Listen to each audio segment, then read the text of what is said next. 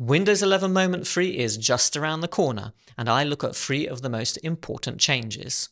Plus, Red Hat Enterprise Linux is getting AD domain auto join, and Microsoft is scanning your password protected zip files. Hello, I'm Russell Smith and I'm editorial director of Petri.com.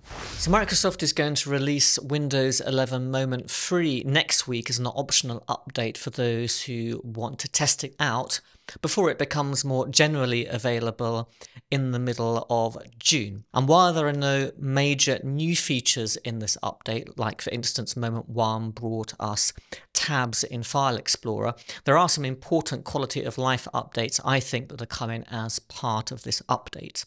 Now, the first one that I want to discuss is the changes they're making to the Alt Tab experience. Now, at the moment, for instance, you can have in Microsoft Edge the Alt Tab experience show as many open tabs as you currently have open across all of your open Edge instances. Now, that is changing with this update, and they're going to limit that to a maximum of 20.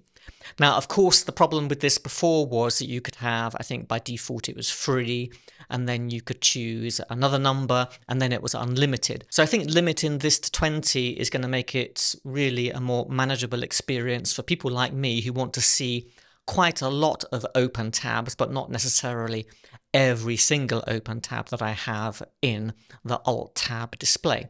You know, I can have maybe 100 tabs open at one time, and that becomes just impossible to manage. Now, one of the other important changes that they're bringing in this update is displaying two factor authentication codes in notifications that you can actually copy out so whether you receive a 2FA code in an email or as part of an SMS, maybe if you have phone links set up, for instance, you will see that notification now in the notifications area with the option to copy it out so that you can more quickly log into whatever service you're trying to access at that point in time.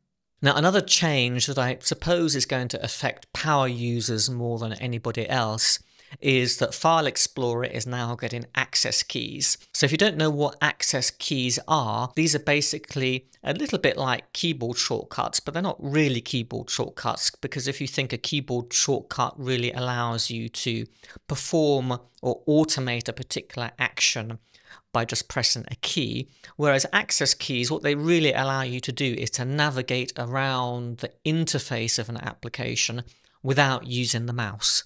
So it's just a quick way to navigate a menu and find an action on what it is that you're looking for. So, for instance, all of Microsoft's desktop suite of applications like Word and Excel, you know, they've had this feature for, for many years.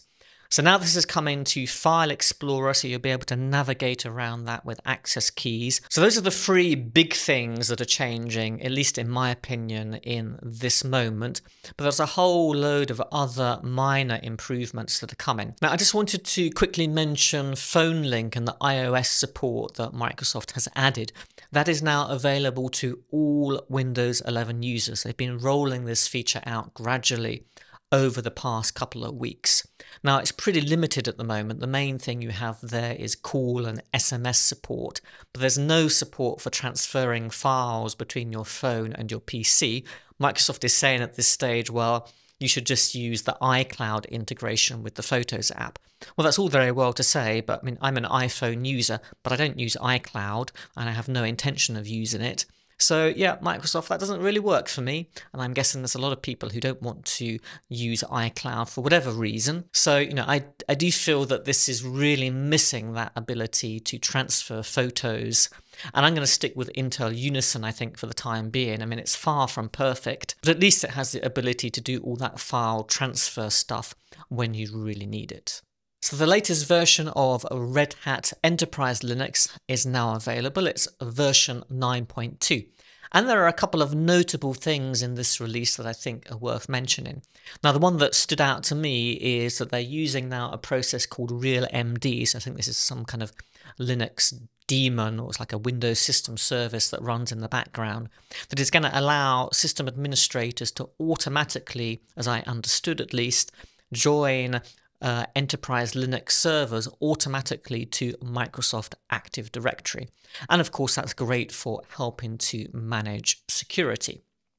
Now, there's a couple of other things connected to security. So, uh, SCAP profiles and Ansible DevOps content are enabled in this build for enhanced system checks that align with CIS security benchmarks. So that's great.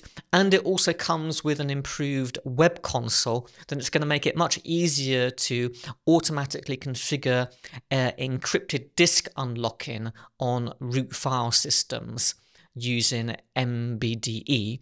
Now, I think that was possible before in Red Hat Enterprise Linux, but this new feature or accessibility in the web console is going to make that much easier for administrators so that they can protect obviously the data at rest when it's on disk. So I don't think this is new information, but there's been a little bit of a fuss about it on Twitter this week. So security researcher Andrew Brandt seemed to discover that one of the files that he was storing on SharePoint, so he basically, because he's a security researcher, he often packages up known malware into a zip file, then stores it or sends it. And he did this via SharePoint Online during the week, and he got a notification to say that his password protected zip file was infected with malware, which of course it was because he purposely put the malware inside that password protected encrypted zip file. So he was a little bit taken aback by the fact that Microsoft was able to scan that and to notify him of the potentially, well, as we know, not potentially, but actual malicious content. Now, Kevin Beaumont, who's you know also a well-known expert in this space, chimed into the conversation and said that Microsoft actually has several methods for trying to access password protected zips to scan them for malware, and that Microsoft is doing this across all of its Microsoft 365 services, you know, OneDrive, SharePoint, email, etc. So, how do they get access to your password protected zip files? Well, a couple of ways. They can just basically scan a list of known passwords and try each one and see if it unlocks your zip file. They also scan your email to see if you sent the password for that particular zip file in another email and then they try it and see if it will unlock it. Of course, people often do that. They will send the, the password separately in a follow up email. So there are a couple of ways that Microsoft is trying to get access to those files. So I guess this is, you know, potentially a privacy issue for many people, but it's, you know, a really difficult line for Microsoft to balance in terms of how they secure these files because often it's a way that malware payloads are distributed through these password protected zips or encrypted zip files. So they need to balance security against privacy, and that's always a difficult thing.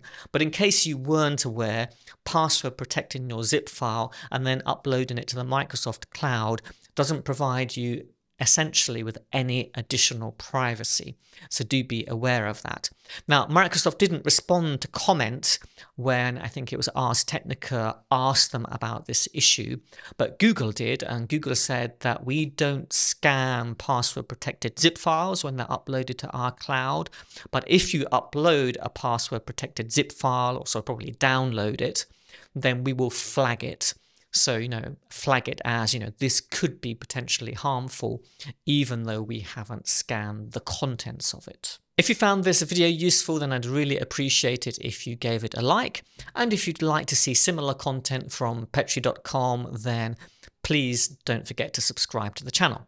But I'm going to leave you with another video that I think that you might find useful, so please check that out. That's it from me this week, and I'll see you next time.